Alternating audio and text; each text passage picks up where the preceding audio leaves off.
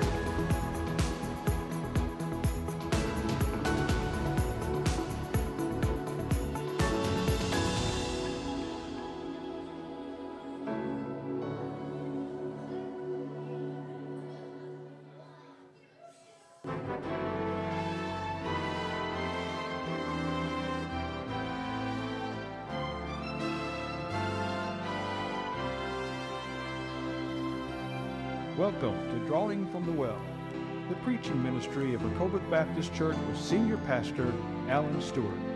We trust you'll be blessed and find faith, hope, and comfort as we draw from the principles and promises of the Word of God together.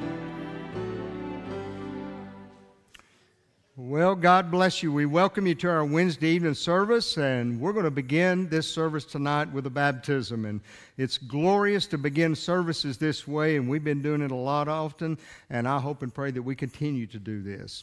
Very first one here tonight, it is Ethan Reevely, and he's going to come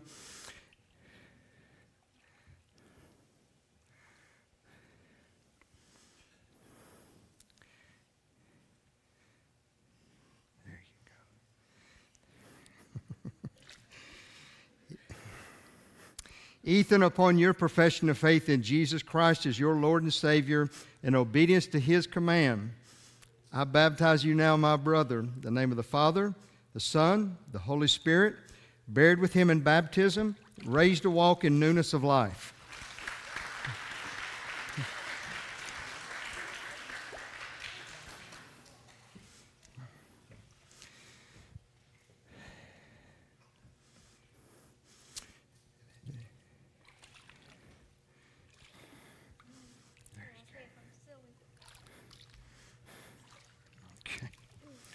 This is Taylor Cordell. Taylor, upon your profession of faith in Jesus Christ as your Lord and Savior, in obedience to his command, I baptize you now, my brother, the name of the Father, the Son, the Holy Spirit, buried with him in baptism, raised to walk in newness of life.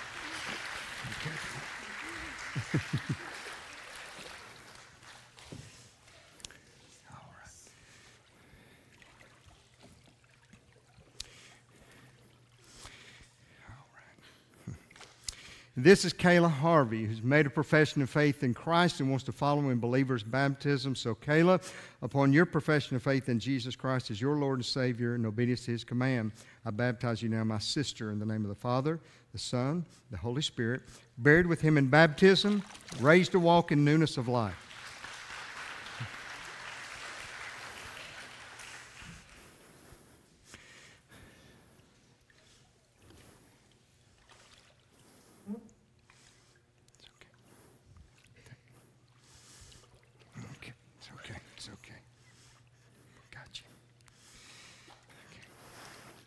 This is Judy Ricks, who has made a public profession of Christ as her Lord and Savior. And so, Judy, upon your profession of faith in Jesus Christ as your Lord and Savior, in obedience to His command, I baptize you now, my sister, in the name of the Father, the Son, the Holy Spirit, buried with Him in baptism, raised to walk in newness of life.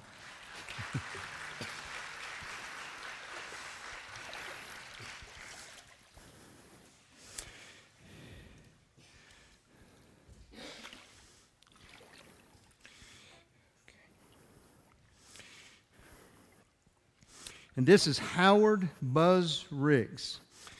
Buzz, upon your profession of faith in Jesus Christ as your Lord and Savior and obedience to his command, I baptize you now, my brother, in the name of the Father, the Son, the Holy Spirit, buried with him in baptism, and raised to walk in newness of life. Amen. Amen. Hallelujah.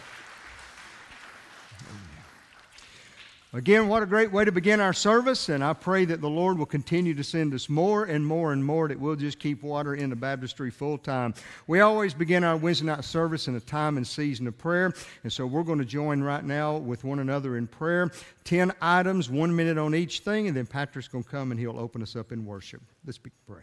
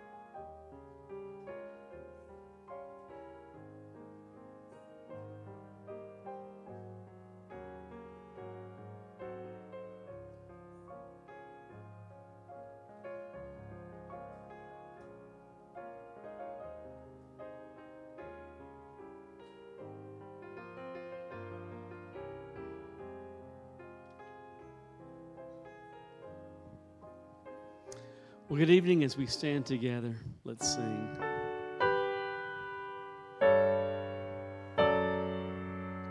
In moments like these, let's sing, I love you, Lord. In moments like these, I sing out a song. I sing out a love song to Jesus in moments like these. I lift up my hands. I lift up my hands to the Lord, singing,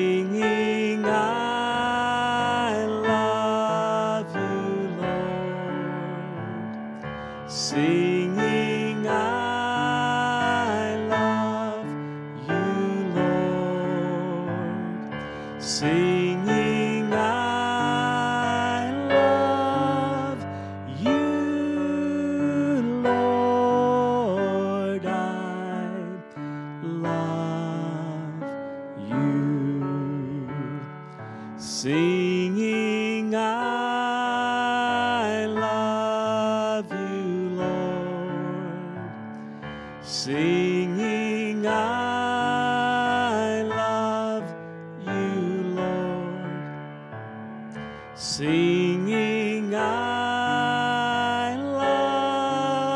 love you, Lord.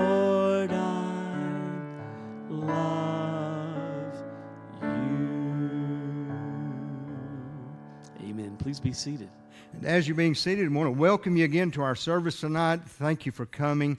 God's doing some very unique things in our midst here at this church. And one day we're going to look back and we're going to be able to trace some things that we might even be missing right here live and in the moment. God is good. God is incredibly good, and He's good all the time, like the song says. And God has been so wonderful to this church. And may God continue to pour out His blessings on Rehoboth Baptist Church. Would you join me as I open up in a word of prayer? Father, we just thank you for the goodness and mercy, the grace that comes from your hand and your heart to us moment by moment, day by day.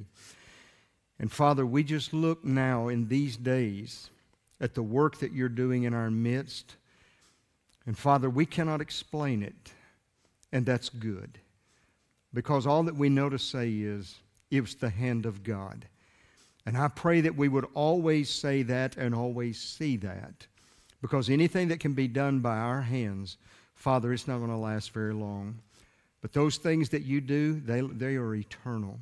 And so, Father, continue to move in our midst. May you draw people to this place, and may you help us to be a people that will always lift up Jesus Christ and make much of him because he made the word, the promise that if I be lifted up, I would draw all men to myself. Father, we come to you tonight asking you to fill the place with your presence. Speak to us out of the Word of God. Give all of us that have come, those that are listening somewhere else on live stream, God, may there be something out of this message tonight that every person will take away, that their life will be stronger and their walk with you for having heard this message tonight. ask it all in Jesus' wonderful name. Amen. Let's stand once more. Scripture reference Philippians 3 7, but everything that was a gain to me I've considered to be a loss because of Christ. I stand amazed in the presence of Jesus the Nazarene and wonder how he could love me, a sinner condemned unclean.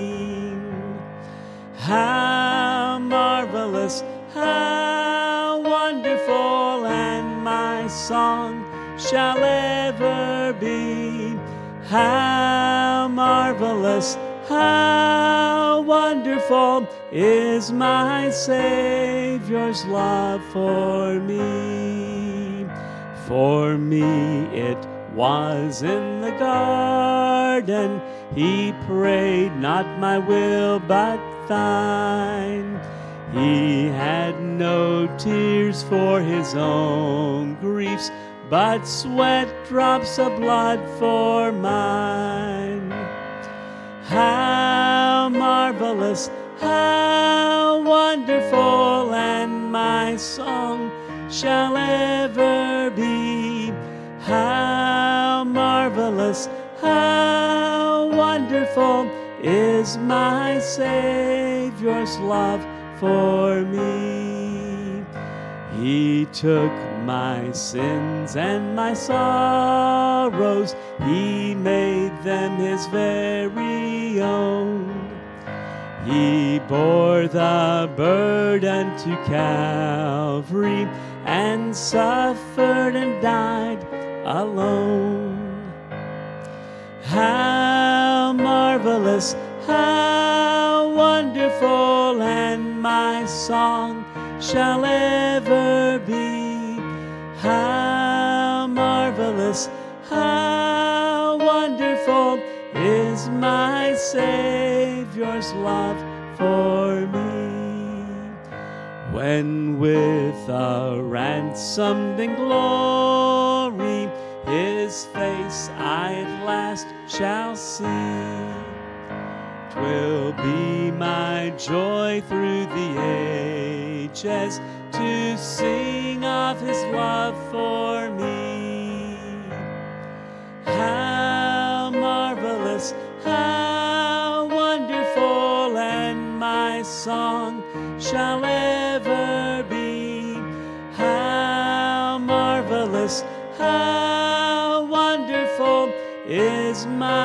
Savior's love for me. And all of God's people said, Amen. Please be seated.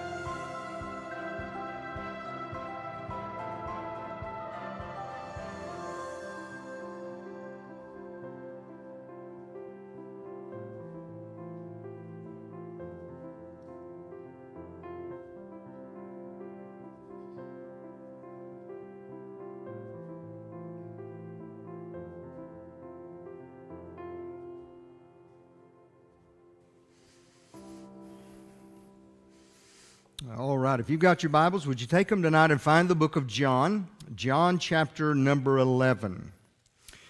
John chapter 11, and I want for the next few Wednesday nights, I want to do a little study on I am. The I ams of Jesus. He made some very powerful, incredible statements that I want us to look into. And with us coming right off of Easter, I want to start with this one here tonight. Again, John chapter number 11. Let's begin reading in verse 20. Then Martha, as soon as she had heard that Jesus was coming, went and met him. But Mary was sitting in the house. Now Martha said to Jesus, Lord, if you had been here, my brother would not have died. But even now I know that whatever you ask of God, God will give you. Jesus said to her, Your brother will rise again. Martha said to him, I know that he will rise again in the resurrection at the last day.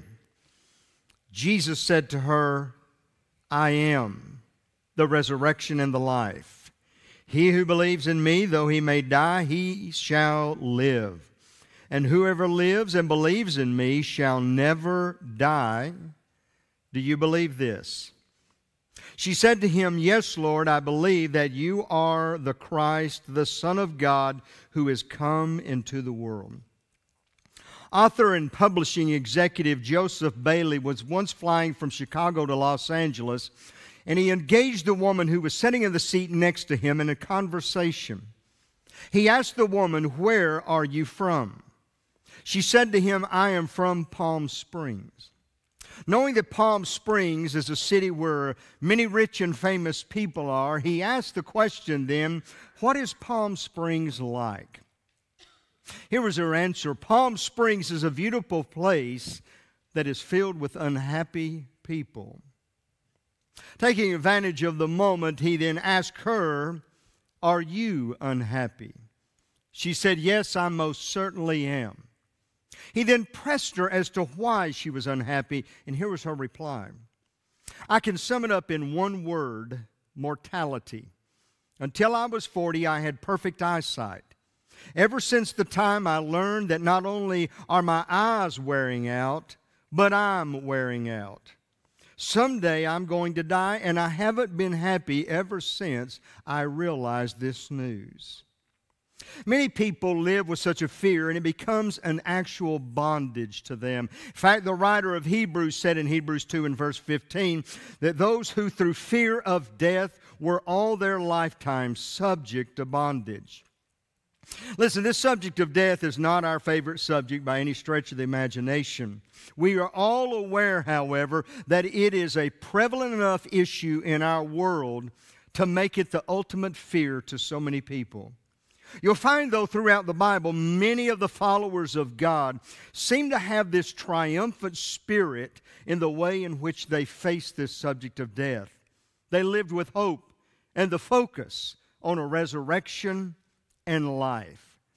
Jesus said in John 6 and verse 40, This is the will of him who sent me, that everyone who sees the Son and believes him may have everlasting life, and I will raise him up at the last day. With that thought in your mind, I'm going to speak to you on this subject tonight resurrection hope. You know the story. In this passage, Jesus has intentionally delayed coming to the aid of a friend that the Bible tells us was sick unto death. And sure enough, Lazarus died. When Jesus finally arrived, Mary and Martha began to scold him. Lord, if you had been here, this would have never happened.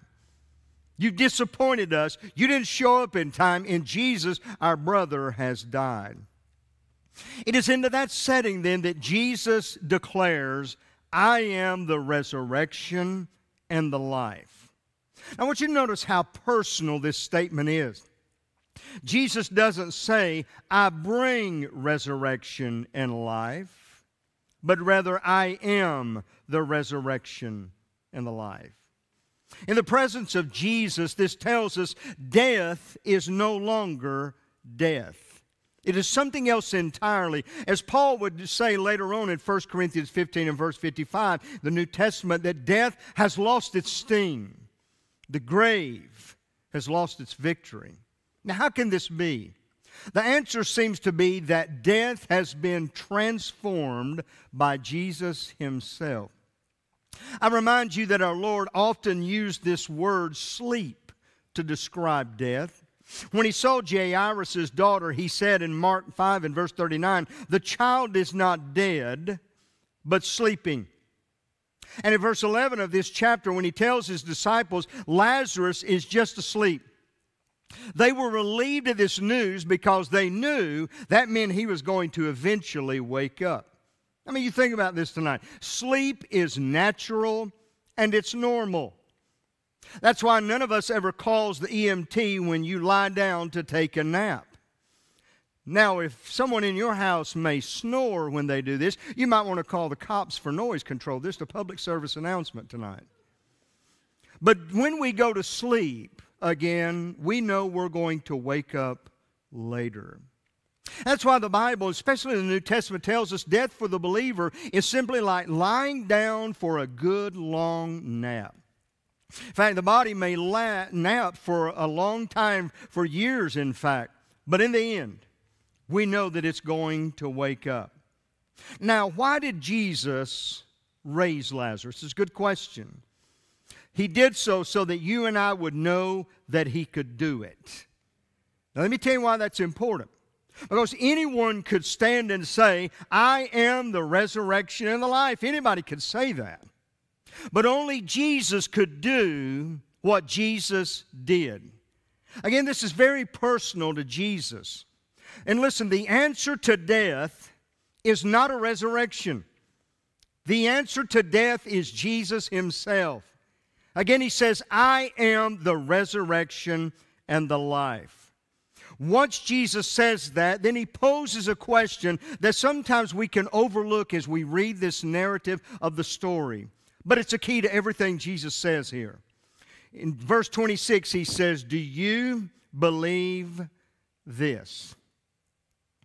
And that is the question I want to put in your heart and mind tonight as I jump into the body of the message. Do you believe this? That Jesus is the resurrection and the life. I want you to notice four very simple things. First of all, life is received, beginning in verse 21. He says, Now Martha said to Jesus, Lord, if you had been here, my brother would not have died. But even now I know that whatever you ask of God, God will give you. Jesus said to her, Your brother will rise again. I want you to ponder this for just a moment. There were a lot of things that were right about Lazarus. I mean, he followed Jesus. He was faithful to Jesus. Man, he served God. There's a lot of things that were right about Lazarus, but there is one thing that's wrong with him. He's dead. I mean, it didn't make any difference at all how well they dressed him how much money he had in the bank, how many friends that he might have had. He had no life. And the same can be said of so many people that are around us every day in this world. They are just simply existing, drawing their breath and drawing their salary, fighting to live while they live to fight, but they don't have real life. Again, you'll find all around you there are those people who have a heart that is thumping, whose blood is circulating, whose mind is thinking, but they have no life. Do you remember what Paul said to Timothy in 1 Timothy 5 and verse 6? She who lives in pleasure is dead while she lives. That's interesting. The Bible tells us Jesus raised three people from the dead, and there's an interesting connection to all three of them. We're told, first of all, that he raised Jairus' daughter, a little girl who had died, the only daughter of this father. And then he goes into the city of Nain, and there is a widow whose son has died, and it is her only son.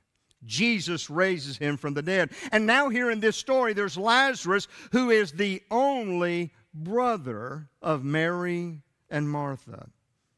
Hope you're getting the picture of what Jesus is setting up here, being the only begotten Son of God Himself.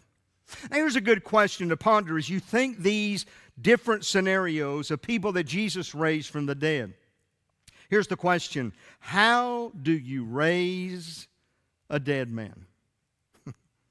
well, all the social engineers of our world today, they've got a lot of different philosophies about how we can raise dead men. They would tell us, first of all, just simply give him an example.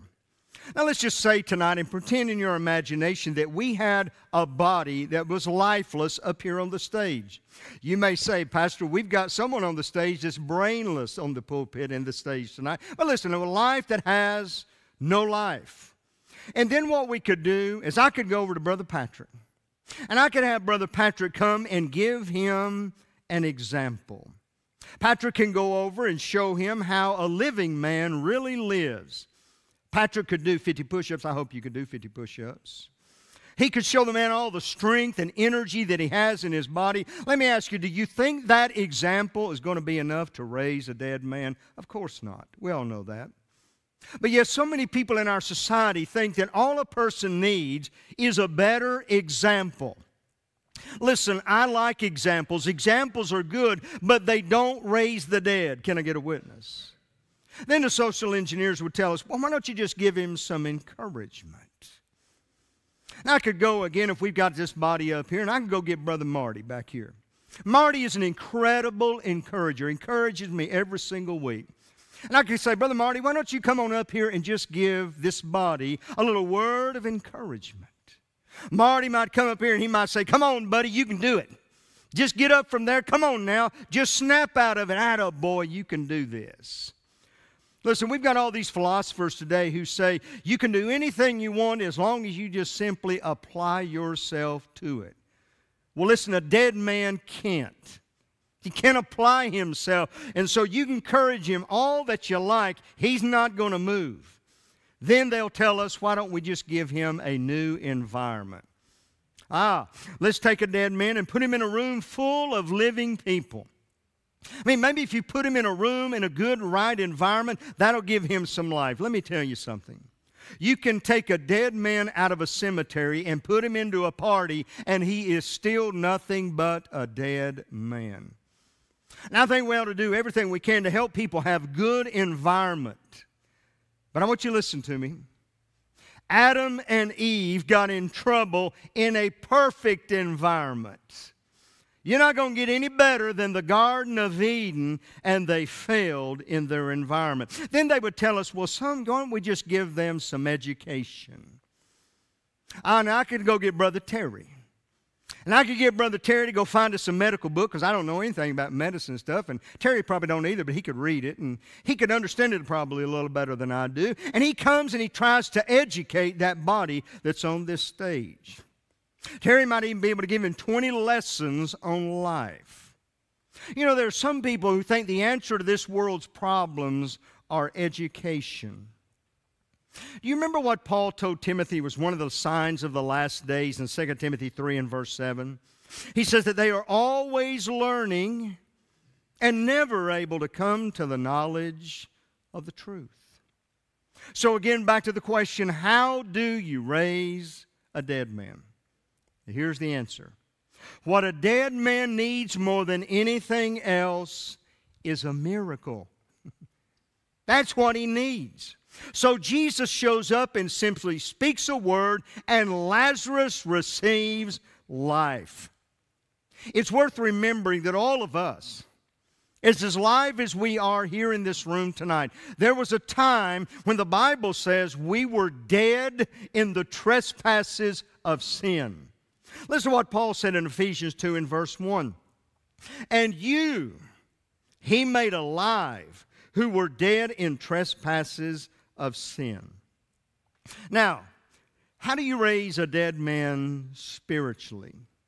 You do it the same way Jesus did here by his word. John 6 and verse 63, Jesus said, It is the Spirit who gives life the flesh profits nothing. The words that I speak to you are spirit and they are life. Now, when you read through chapter 11, there's a refrain that you see over and over and over, and it goes like this Believe, believe, believe, believe.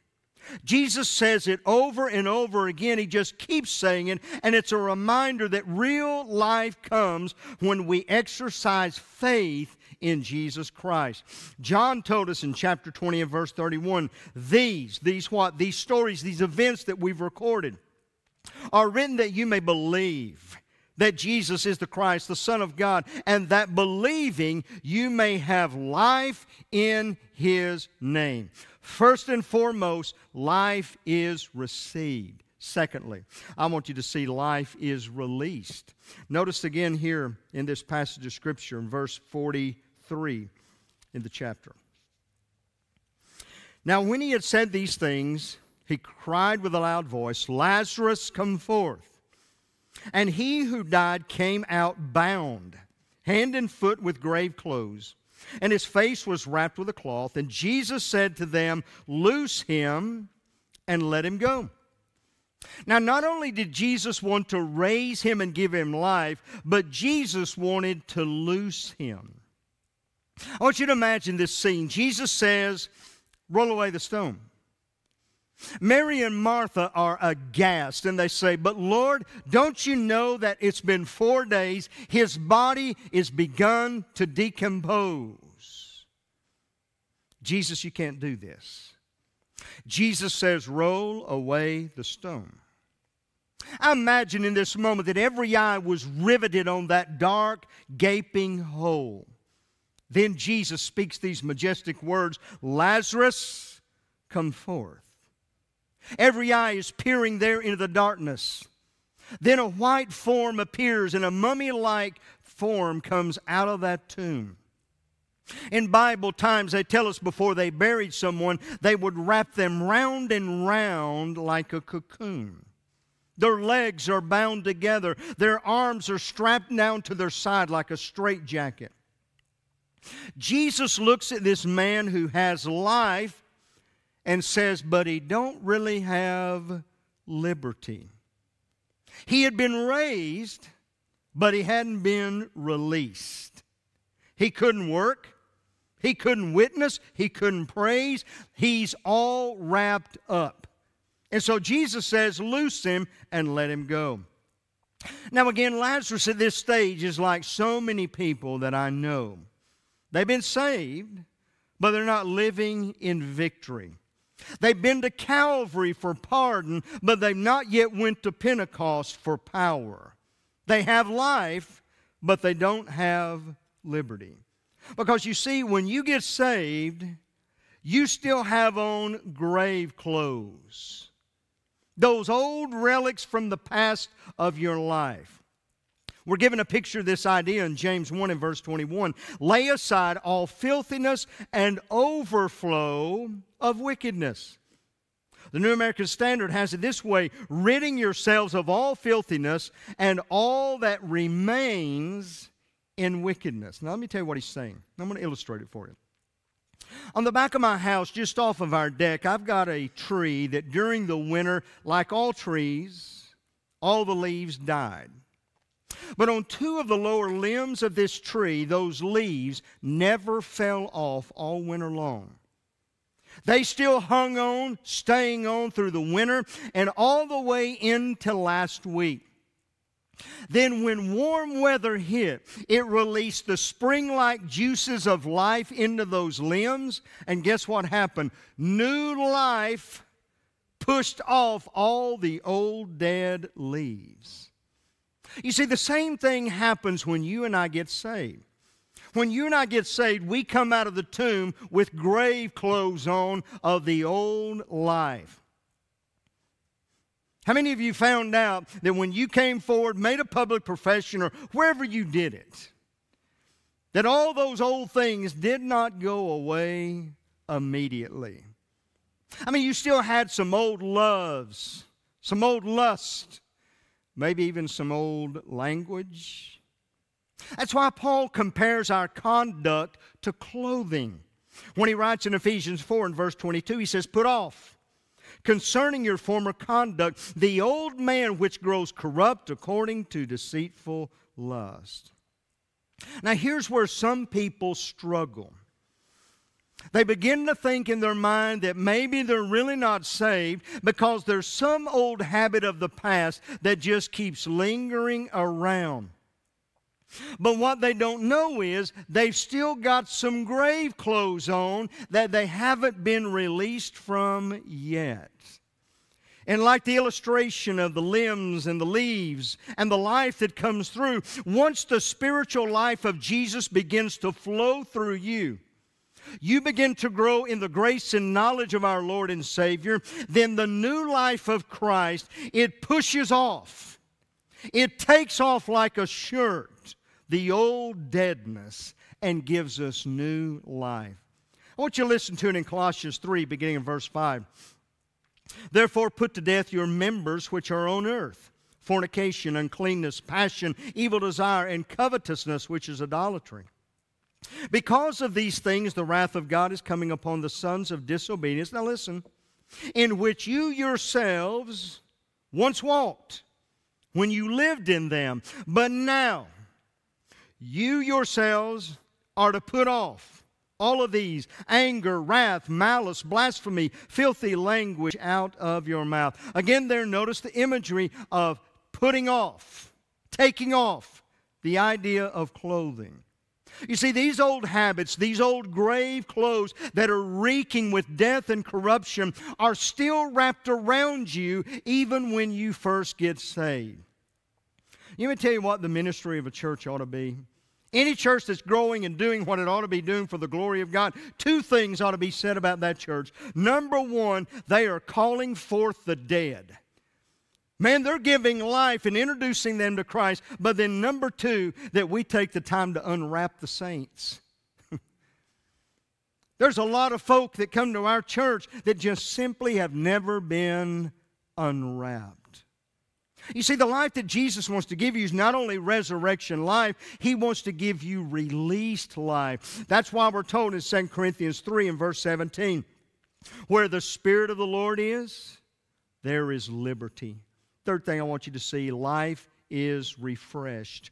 Look over in chapter 12. The story continues. Lazarus, who's been dead, has been raised from the dead. Verse 2 There in Bethany, they made him a supper.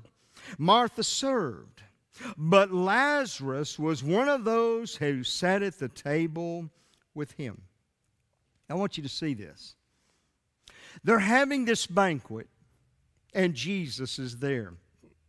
The Bible points out with great enlightenment of detail Lazarus was sitting at the table with Jesus. Don't miss this. It's a simple thought. Lazarus had gone from the tomb to the table. He is sitting there at the table, no more grave clothes. Just a little while ago, he was dead and needed life. Jesus gave him life. Then he was bound and needed freedom. Jesus gave him liberty.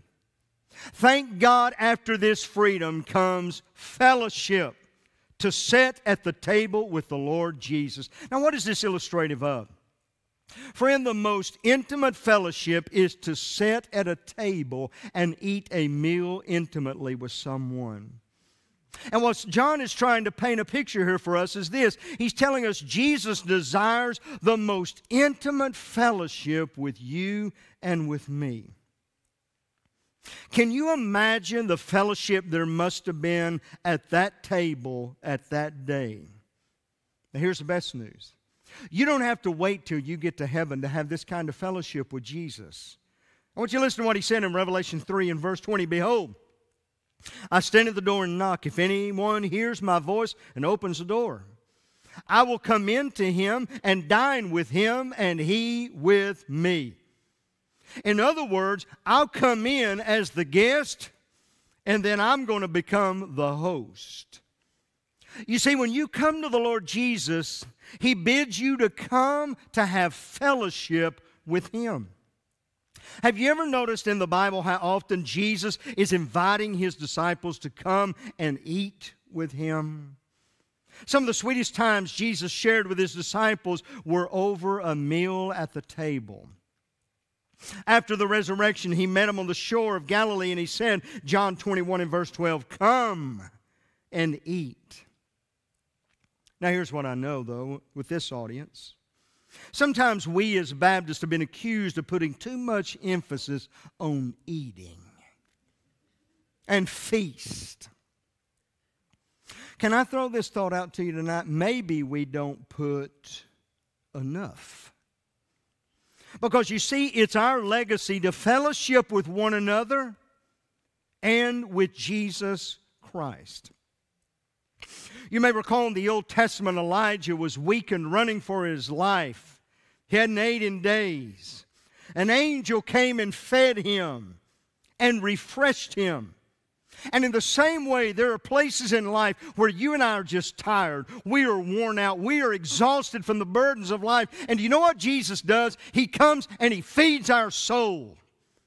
And when He feeds our soul, He refreshes us at His table.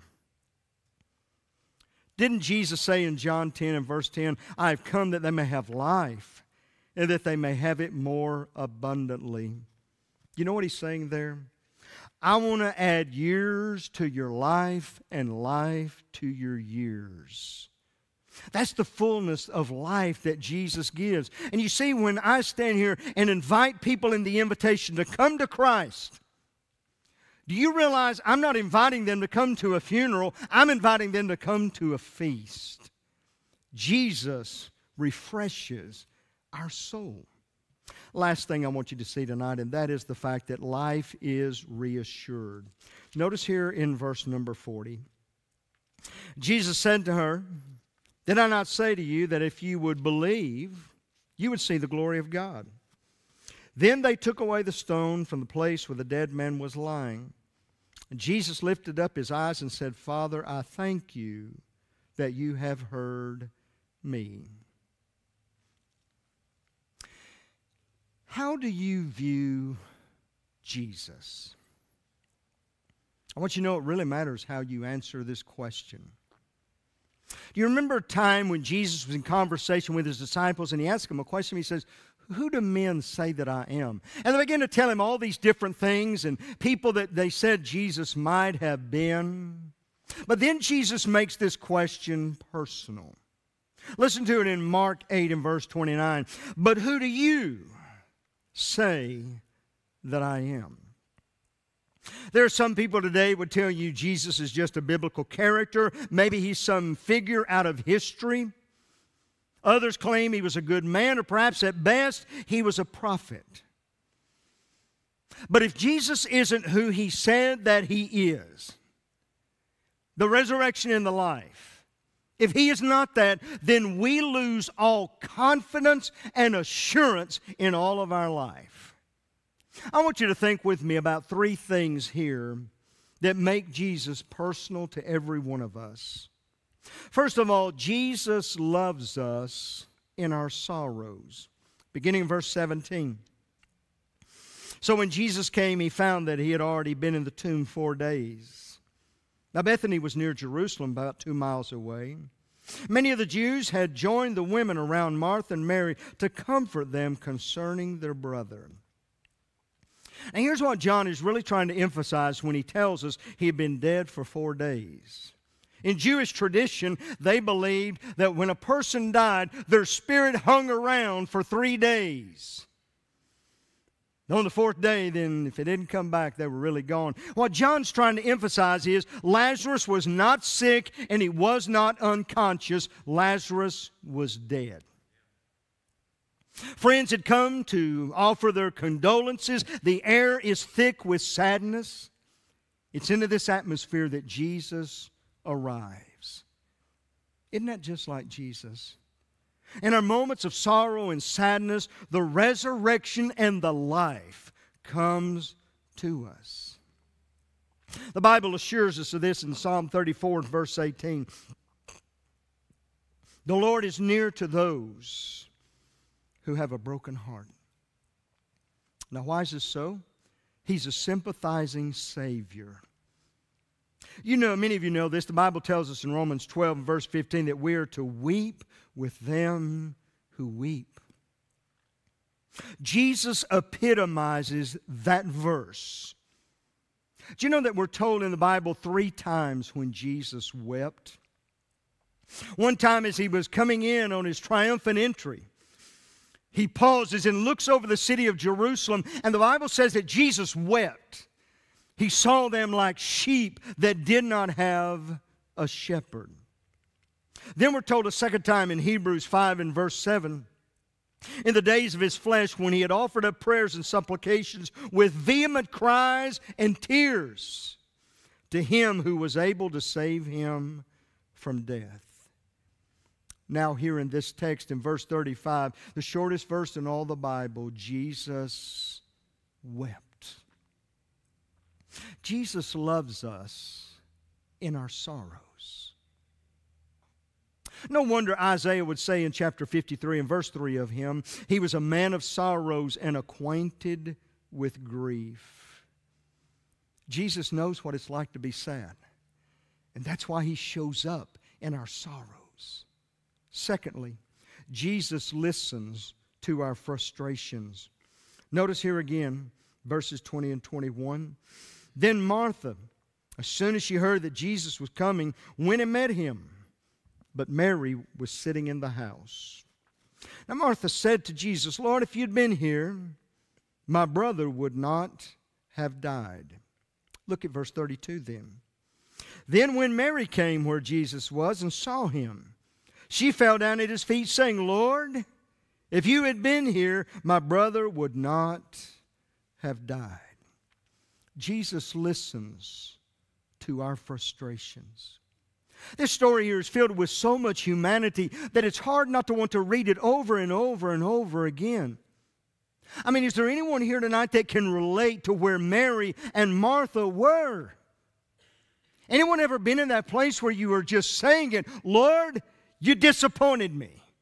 Lord, you were late. Where have you been? Anybody here ever felt like this? Lord, where were you when my mother took her last breath? Lord, where were you when my marriage fell apart? Lord, where were you when I was abandoned as a child? Lord, where were you? When I was overlooked for this promotion I worked so hard to get. I want you to listen to me. These are real, heartfelt questions. But they are questions Jesus is not afraid to answer. Are you with me? You ever heard somebody say, Pastor, you're never supposed to question God and ask why? That's not Bible.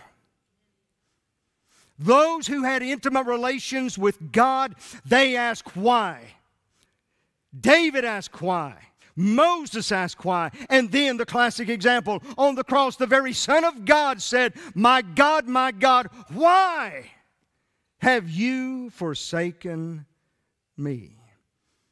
Jesus is not afraid to answer these questions. After all, He is the resurrection and the life. I want you to understand this. If He can handle the grave, He can handle your frustrations in life. 1 Peter 5 verse 7 tells us, casting all your care upon him, for he cares for you. Listen to this. That includes our burdens, our griefs, our questions, and our frustrations. Have you ever noticed how many of the Old Testament prayers were often lamentations and complaints? David complained an awful lot to God in the Psalms. And I believe it was in Psalm 13 over and over again. He says, How long, O Lord? How long? How long are you going to wait? God, how long? Let me give you a couple of others. Psalm 55 and verse 2, he says, Attend to me and hear me. I am restless in my complaint. Psalm 142 and verse 2 I pour out my complaint before him, I declare before him my trouble. These verses are treasures of reminder that if we've got a real loving relationship with God, we can come pour out our honest heart to Him. Let me tell you, when you come and question and you don't understand in life, God's going to let you know you're not the very first one that's ever come to me like this. God can take it. Last thing. Jesus lifts us out of our despair. Verse 23 Jesus said to her, Your brother will rise again. I get this. Martha is still holding on to her faith. She knows there's going to be a resurrection out there somewhere in the future. But what Jesus is saying to her is, I who am standing right here, eye to eye, face to face with you right now, right in this moment. I am the resurrection and the life. She was overlooking who Jesus really was. Don't miss this tonight. Jesus was not promising that he was going to go around and just start resurrecting people because our hearts were broken. He says, with a word of hope, I am the resurrection. He clarifies it in verse 25 He who believes in me, though he may die, he shall live. D.L. Moody said this Someday you will read in the papers that D.L. Moody of East Northfield is dead. Don't you believe a word of it. At that moment, I shall be more alive than I am right now. You see, Jesus lifts us above the despair of death with the hope that while our physical bodies may die, spiritually, here's what happens we just move from one place to the other and we just keep right on moving. Then one day, our spirit is going to be reunited with this old body. And we're going to go be with Jesus and be given a new resurrected body, and we will be with him forever. Paul gives us this hope in this word in 1 Thessalonians 4. For the Lord himself will descend from heaven with a shout, with the voice of an archangel, and with the trumpet of God and the dead in Christ will rise first.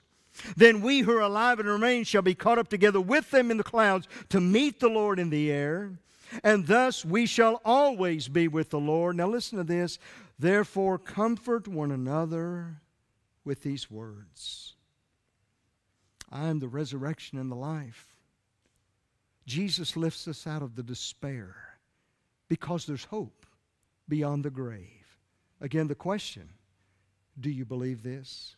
Let me close with this tonight.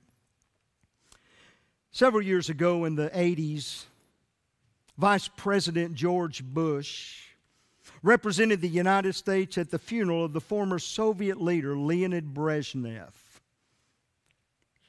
Bush was deeply moved by a silent protest carried out by Brezhnev's widow. She stood motionless by the coffin until seconds before it was closed. Then, just as the soldiers touched the lid, his wife performed an act of great courage and hope. She reached down and made the sign of the cross on her husband's chest. There, in the center of secular atheistic power, the wife of the man who had run it all was hoping and praying that her husband was wrong. She was hoping that there was another life and that life was best represented by Jesus who died on the cross. But that that same Jesus might have mercy on her husband.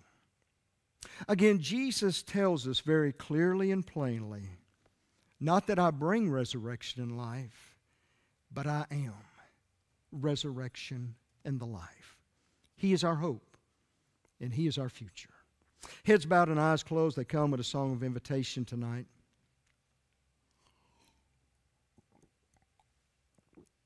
In a moment, we're going to stand and sing. Don't know what God may have said to any person at any point in the message, but I pray there was something. Something that was an encouragement. Maybe your heart has just been reeling with sorrow. And maybe tonight He's just given you what you need with comfort and hope. Our altar's open. I invite you to come tonight. I just want you to know you can bring it all to Jesus. Bring him burdens, your sorrows. Bring him your frustrations. He can handle it. Holy Spirit of God, it's my prayer in this invitation that you would find us all right where we are in life. Meet our needs in this moment. May your grace touch every heart. Give us all what we need tonight, and I ask it all in Jesus' name. Amen. As we stand to our feet and sing, again, our altar's open. Would you come tonight? All to Jesus I surrender, all to Him I freely give.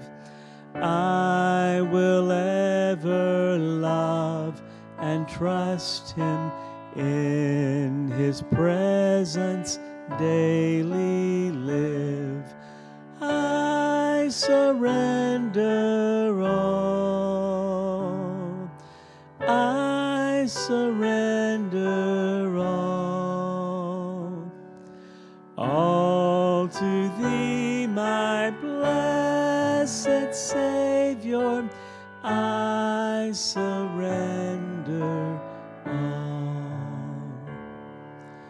All to Jesus I surrender. Make me Savior, wholly thine. Let me feel thy Holy Spirit. Truly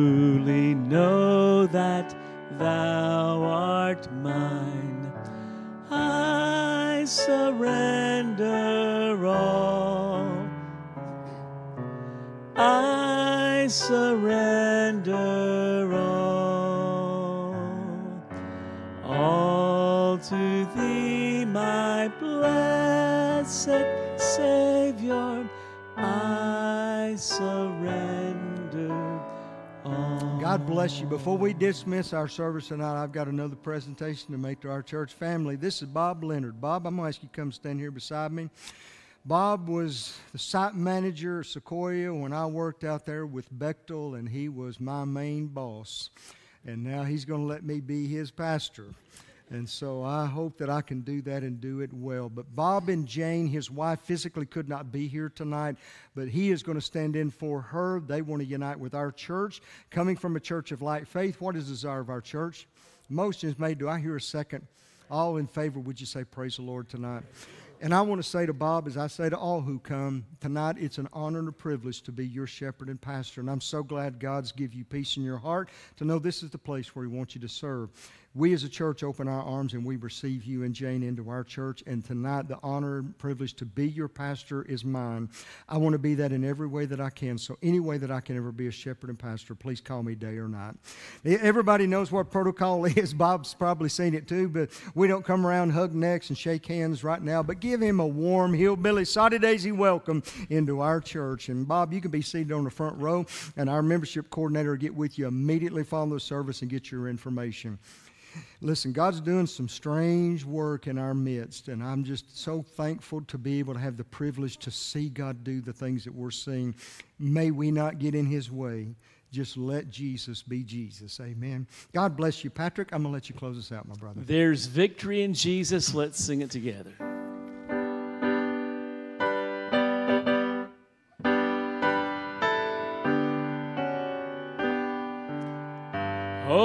Victory in Jesus, my Savior forever.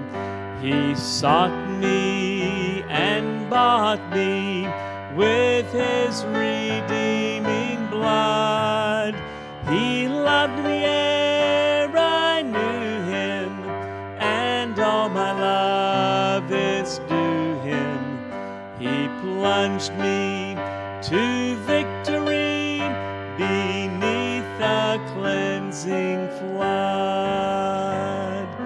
Have a great evening. We'll see you back on Sunday morning.